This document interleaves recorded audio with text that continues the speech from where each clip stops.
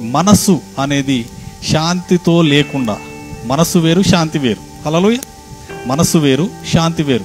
ఈ మనసుకు శాంతి లేకపోతే ఈ శాంతి తోడు కాకపోతే ఒట్టిదే.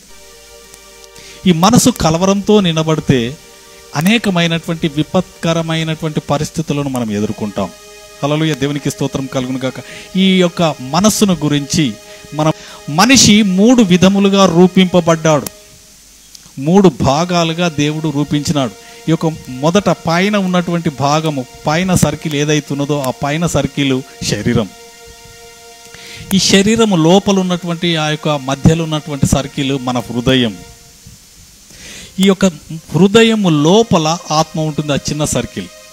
హలలోయ ఈ మూడు భాగాలుగా దేవుడు మానవుని రూపించినాడు. హలలోయ దేవునికి స్తోత్రం కలుగును గాక ఈ యొక్క శరీరము హృదయము అలాగే ఆత్మ. ఈ మూడు ప్రాముఖ్యమైన భాగాలు ఈ ప్రాముఖ్యమైన భాగాలలో ఈ యొక్క హృదయము ఈ హృదయం అనేది మూడు భాగాలుగా ఈ హృదయంలో మళ్ళీ మూడు భాగాలుగా దేవుడు విభజిస్తున్నాడు. ఒకటి మైండ్.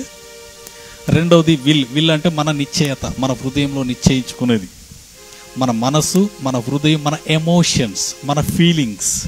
హలోయ దేవునికి స్తోత్రం కలిగి ఈ మూడు భాగాలుగా విభజింపబడ్డాయి. ఈ మనస్సు అనేది మనసు మన హృదయం. దేవునికి స్తోత్రం కలుగును గాక.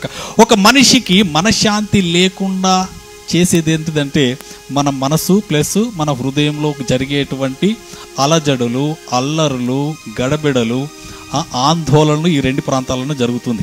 ఈ రెండు ప్రాంతాల్లో జరుగుతూ వాటికి మనం రియాక్ట్ అవుతాం.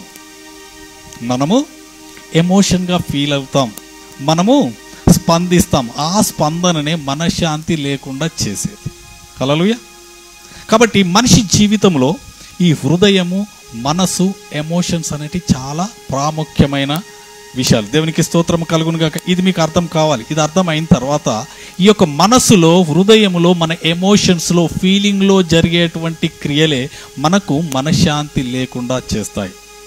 దేవునికి స్తోత్రం కలుగును గాక.